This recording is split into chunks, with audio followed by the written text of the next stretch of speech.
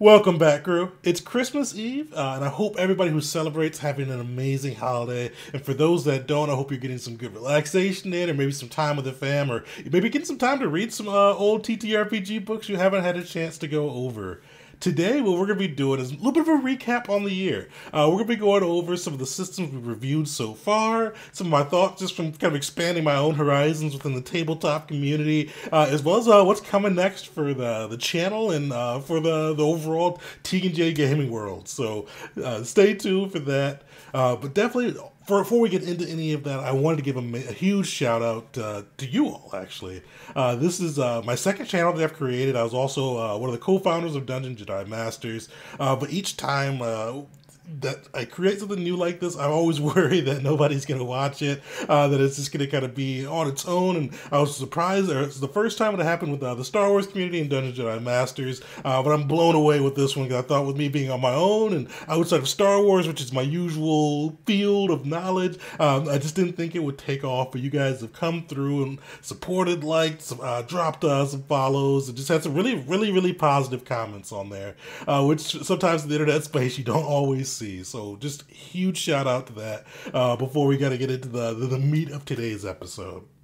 But yeah, today I just wanted to kind of go over some of the insights I picked up playing a lot more TTRPGs uh, than I have in the past. Um, as I've said in some other videos, I usually I played a lot of 5e, occasional Pathfinder, uh, and Star Wars 5e, uh, but I rarely ever kind of broke out of those two branches. It was mainly those two uh, as kind of where I hung my hat as a DM and player. So this is uh, I've more than tripled, I think, uh, the amount of RPGs I played just in this year. So crazy on that side. Uh, and kind of along with that, one of the videos we're going to be doing a little bit later this month, uh, maybe beginning of next month, is how to learn a new TTRPG. Because uh, going through this has been a little bit of an experience for me. Usually I'm the um, rules lawyer, for lack of a better way to put it. Uh, nice one though. Uh, when it comes to like 5e and things like that, uh, I've, I've played the rules so long, I know them, and that's got a little bit of a comfort. Uh, but going through and kind of trying to learn and be proficient with new systems, it's just kind of taught me some new ways to learn an RPG, uh, which I want to kind of go over in the video, just in case somebody's thinking about branching out, but just a little bit worried about how they'd actually go about learning the new systems and getting up and running. So that's coming next Saturday. Keep an eye out for that.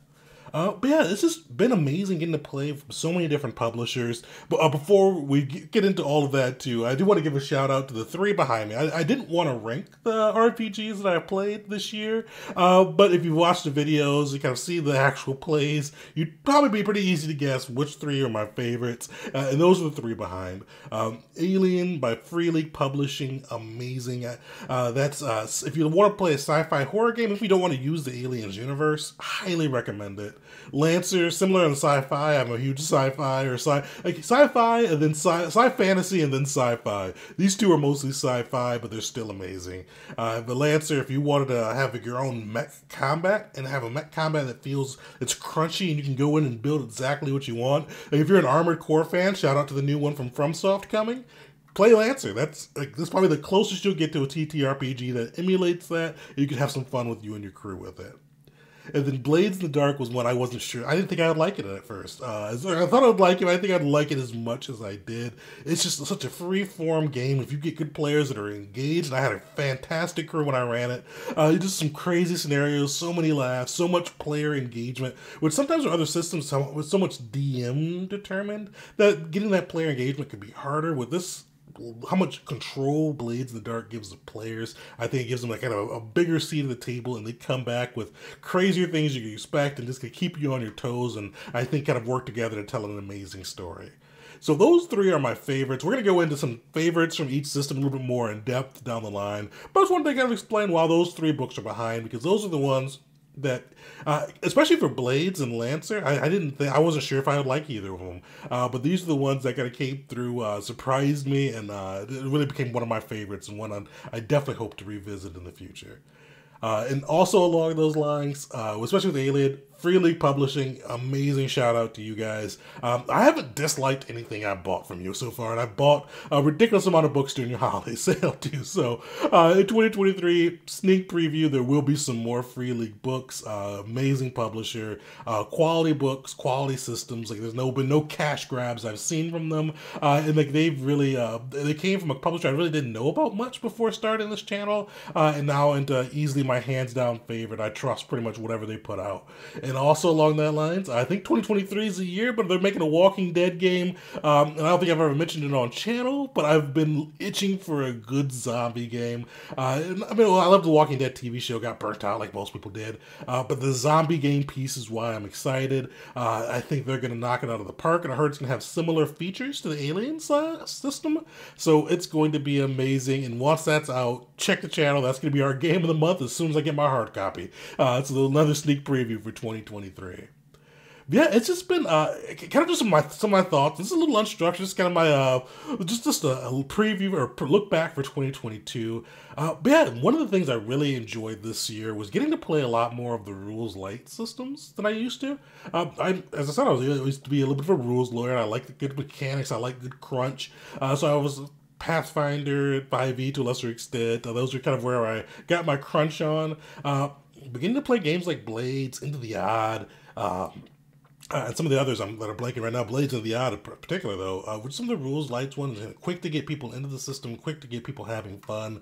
Uh, the rules support the narrative and don't get in, don't get in his way as much sometimes. It's just been really cool to kind of get branch out of my own little bubble on that side and get to play some new systems and just really get to have some fun on that. And, and for any of the kind of the mechanics in depth people like uh, like myself, try some of the rules lights one. Uh, I think it kind of is a good creative flex if you're the, the game master on that side.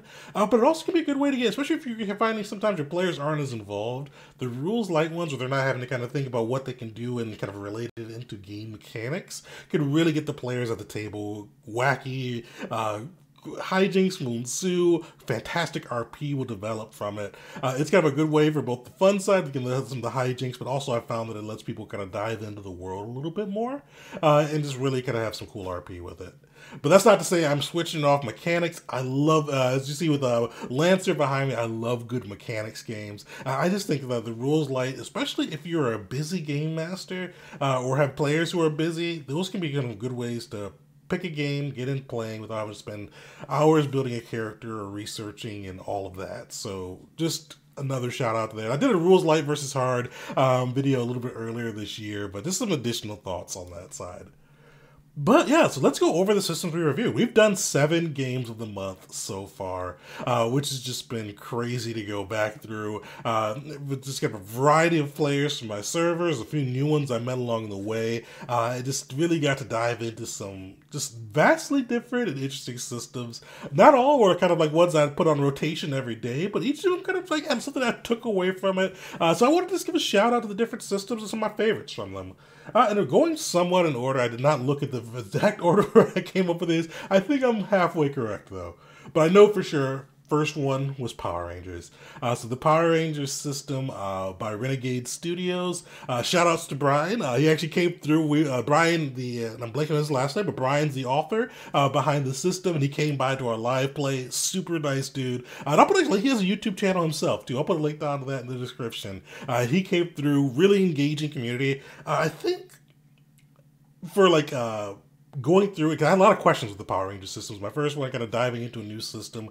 Uh, the community was super welcoming. Brian himself answered a lot of my questions, which I don't think I've ever really got to talk much with the writer of a system. So that was just amazing for me, just how welcoming they are and how kind of like open Renegade Studio seems to be on that side. I, I picked up the Transformers book they made. I haven't looked into it at all. That may be a game of the month down the line, so stay tuned for that. Uh, but outside of the community, I think one of the coolest things with the system uh, was just how well it captured that 90s nostalgia. Uh, I'm a 90s kid, 32. I grew up with Power Rangers and the art. It, it, if you probably doesn't hit as well if you didn't grow up with that generation of Power Rangers. But for me, I did, and like the art, the style, the the builds for the different colors of PC or of the Rangers just was all kind of exactly what I was looking for. Uh, alongside with that too, uh, I wanted to use more of this dice system, which is the Essence D20 or Essence 20, I think. Uh, and Transformers uses it as well. But I think it was fun. I'm still worrying. I'm wondering about the math side of it. But it's I, I like rolling dice, as I've said a ton of times. You get to roll a D20 plus whatever your other skillable dice is. It's kind of a mixture of kind of how Savage World does it, but you still get a D20. So you've got a D4 up to a D12, and you roll that alongside your D20, and you use that to beat the DC. So I thought that was cool. I want to play with it some more. Uh, so definitely just got one of those interesting things to take away. And they got the exploding dice system too, which I love. Shout outs to them, Savage Worlds. I think Coyote and Crow, I'm blanking. I think they did that too, but I'm blanking on that side. Oh, they, they did. They did do exploding dice, but you had to hit a, you know, had to hit a six. They did the D6 system.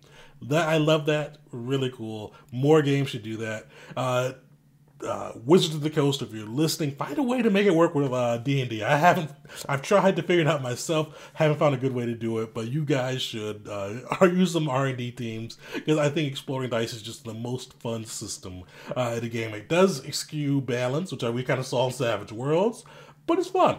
People like it. Yeah, so shout outs to Power Rangers, really big shout outs to Brian uh, in the community on that side too. Uh, but after we did Power Rangers, we dumped into little bit newer of an RPG, uh, Coyote and Crow. Uh, so, and Coyote Crow is made by the Coyote Crow Studios. Uh, I think this is uh, this was their first RPG, uh, and this one, uh, if you hadn't watched the videos on that, uh, it was kind of a dive into it was indigenous culture, but from the viewpoint of like a sci sci fantasy society where the Americas were never colonized and the indigenous people kind of lived, but there's a great calamity. And as I'm going into this, you'll see part of my favorite takeaway from this was the lore that they had along with building it it was just really cool, uh, really in depth. Um, from what I've seen uh, from the creators' videos and on their Discord, really well researched. Like uh, they're uh, indigenous people themselves, and they really made sure that not only their own indigenous culture was represented, uh, but a lot of the other ones were kind of across the Americas too. Uh, and just had some like really like cool art, like uh just background lore pieces for it, uh, and, this, and it felt fun to play. Uh, and this was one uh, one of the ones uh, I only I ran a, a pre-made adventure. Uh, all the other ones I kind of made my own thing. With this one, I really wanted to make sure we showcase the lore, showcase the world. So I ran a pre-made uh, adventure. And what I'd love to come back to again to kind of run my own adventure. I little peek behind the screen. I don't like usually running pre-made adventures. I like to kind of have my own flow. Uh, so I want to give it another shot with that one too. I like the system, I like the mechanics, but I'd love to give it a shot with my own my own story, so I can feel a little more at ease, kind of making calls versus having to like make sure like, oh, am I doing that right? Uh, but yeah, that's just a little peek behind the screen there. But really cool system, really cool lore. I highly recommend checking them out. They're a new company. Uh, they're uh, this is their I think their second year maybe. Uh, but pick it up. Amazing artwork, uh, and definitely kind of a, a cool cause behind it too. After that, we got into Lancer uh, behind me. Uh, so Lancer was our third game of the month. Uh, and shout outs to this community too. Uh, definitely they're very open and welcoming too, but this community comes out in force. I really like you guys. Uh, Lancer gave me the biggest bump uh, when I was first starting out uh, with new viewers. A lot of you kind of came on board during that period, so shout outs to that. I truly appreciate that. It was kind of crazy seeing those were the uh, the highest kind of viewed videos at the time. It was just really cool seeing those come in. So huge appreciations to you all on that side. Uh, but overall, I just loved this system. Uh, this was uh, it kind of hit the right crunch side for me because I love crunch. And it hit like, it was a fun crunch. It was customizable. Uh, if you've watched me before you'll know I'm kind of a I'm, I'm a little bit over class systems. I love classless systems and I like the way they did theirs where you have different manufacturers you can buy things from. You can kind of build out your uh, your mech that way as you level up and gain new licenses and things like that or I shouldn't say you gain new licenses not level up uh, but it was just really cool on that side uh, the mechanics seemed to flow well in the game that we played. This is another one I want to get. I want to get another run another game or either play another game with Lancer because I had so many different mech ideas and so many different things I wanted to build out with it. Uh, so that's definitely what we're going to be revisiting in the future. And actually, this upcoming Wednesday, we're going to be doing a video on their uh, COMP/CON system. And what COMP/CON is, it's like their D&D Beyond for any of our five years. Uh, it's a website you can go to. It has a lot of their resources on there. It's free, completely free. Uh, super free. I want to say that again because it's very comparable. It's well made, comparable to D&D Beyond. It's free. It has all the resources you need to build a PC and uh, mech on there, uh, as well as some of the rules and resources super well designed. Uh, so last time I built well, we kind of built it by hand uh, using uh, R20 as our character sheet. Uh, this time we're probably going to build a PC on there uh, and a PC and mech, uh, as well as to go over some of the cool features on COMP/CON. So stay tuned for that because it's a really cool resource, and did I say it's free? So check it out. It's shout outs. I don't know. I don't think I don't think it's official. It may be official. I'll, and I'll check before the video. I think I'm not sure if it's official or not, but shout out to whoever made that. It's super cool. Uh, so after we did Lancer, uh, we went into the One Ring. Uh, the One Ring was a cool one. Uh, One Ring was one of the ones, uh, the only ones actually I did a solo play with. Uh, and the Strider mode is sick. if you've ever have trouble finding people to play at your table, like I did, I think that was July or the summer holidays and all of that, I could not get a good table out of my crew going. So I'm like, they got Strider mode. Let's let's play by myself. Uh, it's really fun, uh, especially if you want to flex your creative muscles as a game master. Highly recommend doing that. It just it, it flowed super well. This is probably the most nervous I've been to do a stream before uh, because I, I, was just it was just completely me, but uh, it was really cool, a lot of fun. Uh, the system itself too, like outside of Strider mode, Strider mode, pick that up. It's like five bucks. Go pick it up. Uh, especially if you already have the One Ring. I don't have that book all there. That was that was if I had more space on my table, the One Ring would be up there too. Uh, but yeah, go pick it up. Uh, go pick up the One Ring. Go pick up Strider mode. it's just a really cool system to be able to play by yourself and get to see. Uh, it's gonna flex your creative muscles uh, and get a game going, even if you can't get players at the table. Uh, which kind of outside of that uh, is a little bit interesting because like with the 5e i've never struggled getting players to the table uh, but going to some of the newer uh, other systems it's kind of a a lot of players aren't interested in learning new RPGs, so it was kind of an interesting flip because as a game master, usually I'd like, "Hey, who wants to play?" and I usually get like a, a handful of people in there. Uh, but some of the other ones I have, luckily, a lot of my my crew loves to learn new TTRPGs. So you saw probably if you went through and watched all of our uh, game of the month actual plays, a lot of uh, similar faces. But yeah, it's definitely one of those things uh, that's a little bit of a shock if you're coming from the 5e world. Uh, just expect to kind of float with uh, it's easily find a crew to fill out your table but definitely one ring, best way to play in Middle Earth. Uh, they had to, I love all their travel mechanics. Uh, I've been interesting. I, I haven't been playing much 5e, but I've been debating buying Free League's 5e book just to see because they did a, a, a, one ring 5e just to see how they brought the travel mechanics to 5e because I love them. I was thinking about homebrewing my own way into them, uh, but I trust Free League and I think they probably did an amazing job with the 5e one. So if somebody's picked it up, let me know in the comments how that is. Because like I was literally, I bought like four books from Free League when they did their holiday sale. Like I was, my finger was hovering all over that one. Haven't picked it up yet, but I probably plan on doing it because I like that system. Combat was fast and dynamic, uh, especially because it was me playing against me, and I was worried about it would not be fast and dynamic, but it was cool little bit, and as I said, this is one of my thorns, but a little bit simplistic, but especially if you're doing Strider mode, or for even just a regular table, uh, if you want to get more into the RP, the exploration pieces, which I feel like is more the essence behind Lord of the Rings, fantastic.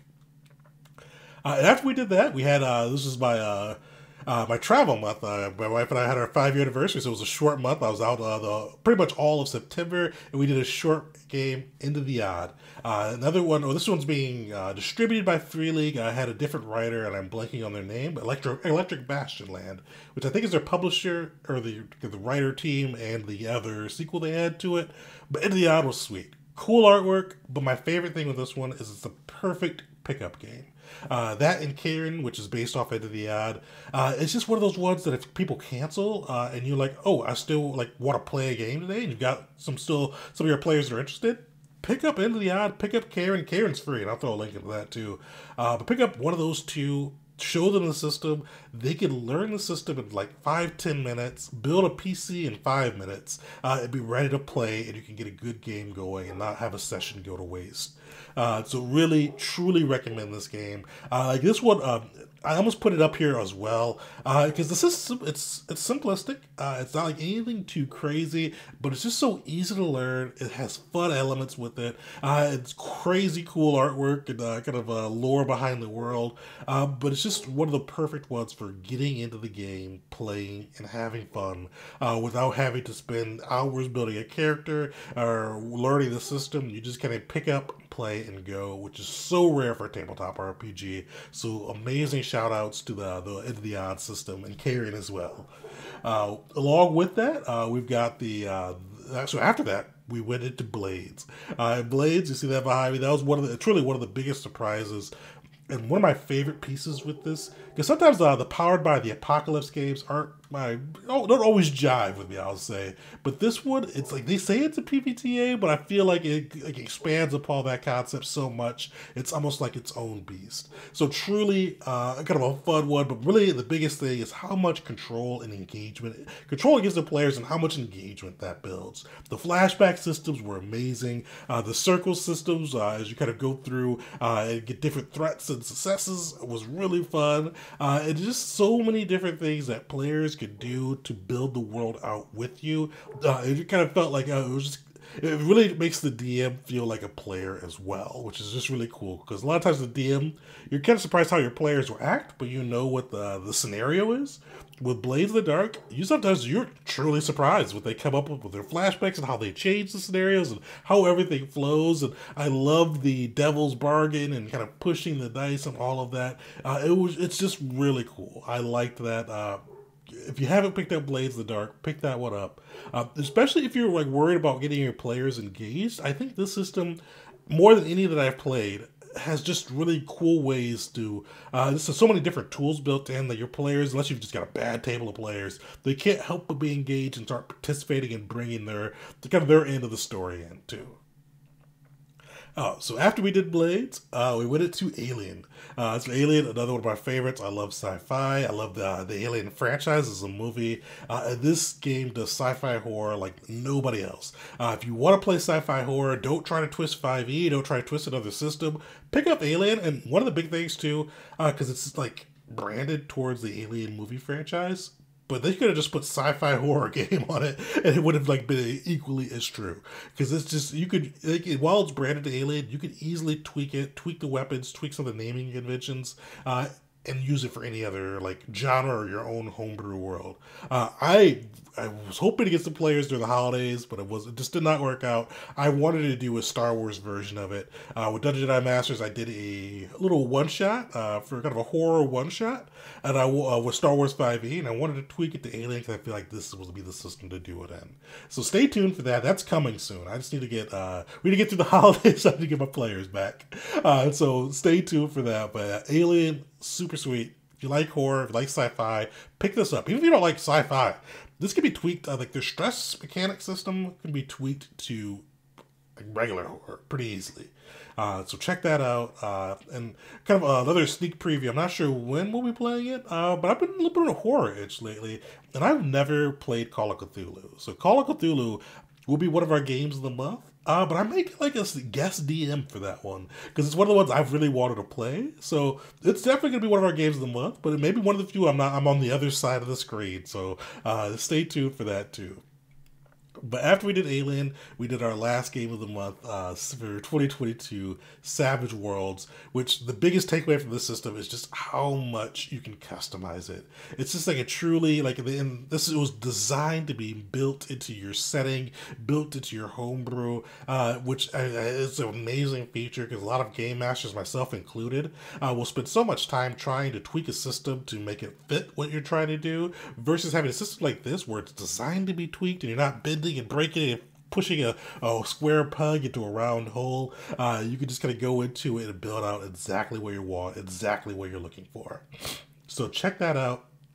Highly recommend Savage Worlds too, especially if you have a setting in mind but you're not sure what mechanics you need for it, because uh, this could really fit that well. And they have a pretty fleshed out mechanic system. I did not know how um, kind of crunchy. I forgot what word it is. Uh, it's probably probably if you looked at it, similar comparison to 5e with level of crunch. So it's not like a, a Lancer or a Pathfinder, but uh, it definitely has a good bit of crunch there. Uh, initially, I thought it was more of a rules light system before picking it up, so uh, that was definitely a little bit of a shock on that side. But they've got a lot of cool things built into there. Like they probably have the best chase system I've seen. They've got rules for mass battles a lot of those things that come up a lot of uh, in major tabletop games, and sometimes it's usually say, "Hey, GM, figure it out." They figured it out for you, and you can tweak it to the setting that you're running in. So, shout outs to them. Super customizable. You can pretty much pick up a little, a little bit of tweaking, and they give you the guidelines on how to tweak, how to build your own races, how to build your own perks and edges, and all of that. Uh, so it just gives you the tools uh, to be able to do that. And another cool thing with that is like they've got a whole bunch of settings they sell officially uh, with the system, uh, Pinnacle, uh, and also on Drive Through RPG and all the other uh, kind of sites you can go through and buy uh, different game systems. There's so many fan made and creator made uh, settings and features along with the Savage Worlds. I think they probably have outside of 5e. If I had to hazard a guess, they probably have the most. maybe probably maybe out Pathfinder, but definitely they're top three in my opinion. which is how much is out there for different creators they could sell and pick up and have exactly what you're looking for. Uh, they even have like a Ninja Turtles like variant using Savage Worlds, which is like crazy. Uh, so yeah, customized customability and just so much fan made creator content that you can just really find exactly what you're looking for without having to spend too much time. So amazing on that slide. Shout out to Pinnacle. But yeah, those were the seven games we did, and each one kind of like I learned a little bit something from. Uh, and definitely, as you see with my big three behind me, I got some favorites really you'll be seeing more of these games in the future if you watch my actual plays, especially Blades in the Dark. I wanted to get back in that one. That one, I, I truly had a blast with that system, uh, and just shout outs all around for their, their creators, their publishers. Uh, just really had a lot of fun. And along with those two, because each time I did a game of the month, we ran a stream. Uh, and seven people won uh, cop PDF copies of each of these systems so they could go through and play and hopefully bring it to their tables too uh, to be able to kind of go through and uh, have some fun with it. And shout out to Shalal. Uh, she won two or three. Uh, I know she won Coyote and Crow, and I think she won Blades of Dark. And I think there's a third one I'm forgetting. Uh, so she's been very lucky with those raffles. Uh, so shout outs. Uh, and if you're watching now, drop a comment, see if you've, let us know if you've played any of them too, because uh, it was definitely cool to see you at the streams. and I'm glad you got to bring home some of those books too. Uh, but overall, had a blast. 2023 is going to be similar. We're sticking with our game of the month format. We're always going to be giving away a copy of the PDF because truly one of the big missions of this channel is to get more people playing TTRPGs. And I think giving out copies of the books and systems so they can go through and read it and hopefully bring it to their players is probably the best way to do that. It helped me get out of my 5e bubble, so I want to bring other people outside and seeing how many cool TTRPGs are out there that just may not be getting the love and support they deserve. So stay tuned, stop, uh, keep following, drop a like, subscribe if you haven't as well, uh, because uh, this is going to be continuing on. Uh, another thing I want to say is some upcoming content. Uh, I'm going to be doing this Tuesday, uh, the 27th, I believe. Uh, I'm going to be doing another Strider mode for One Ring, uh, bringing back my PC and going through some more Middle Earth adventures. Uh, Wednesday, we're dropping that COMP/CON video for Lancer, uh, so that'll be on YouTube. And then Saturday, we're going to do that How to Learn a New TTRPG video. So stay tuned. We've got some amazing content coming for the rest of December. And the January, we're kicking it back off. We're in a new game of the month. The one I was hoping for, and I'll give us. Uh, I was hoping to have my book for Avatar Legends. I won't have that January probably, so that'll probably be our February game of the month. Uh, I don't know what January is going to be yet, but stay tuned. We'll figure that out uh, and get some cool content out there. But overall, thank you again for your support. Uh, we've grown so much, so many videos, likes, and subscribes. I just truly appreciate it. Uh, definitely, if you're new to the channel, drop a like, drop a subscribe. We're coming through each month with some cool content. Uh, definitely a great way to learn what's out there in the TTRPG space. Uh, but overall, thank you. I hope you all have a Merry Christmas or a great holiday, whatever you're celebrating. Release some peace and quiet if you're not celebrating anything. Uh, but definitely thanks for watching, and till next time, crew.